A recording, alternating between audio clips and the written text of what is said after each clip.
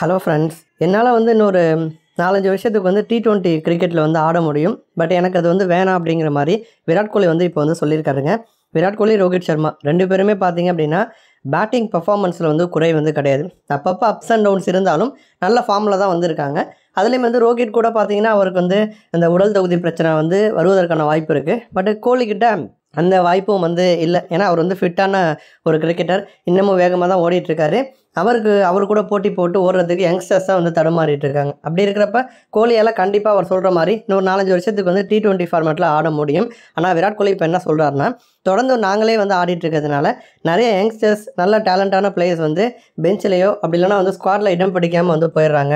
அதே மாதிரி வந்து ஒரு ஒரு இன்னும் ஒரு ஐசிசி ட்ராஃபி நம்மளால் ஒரு பத்து பன்னெண்டு வருஷமாக வந்து வாங்க முடியலை. அப்போ வந்து ஒரு ஒரு ஃபார்மெட்டுக்கும் வந்து ஒரு ஒரு ஸ்குவாட் இருந்தால் தான் அதை மட்டும் வந்து ஃபோக்கஸ் பண்ணும்பொழுது இந்த மாதிரி பெரிய ட்ராஃபிஸ் வந்து அடிக்க முடியும். அதேமாதிரி ரெஸ்ட்டே இல்லாமல் ஆடிட்டே இருக்கிறதுனால வந்து ஒரு மாதிரி தொய்வாயிருது.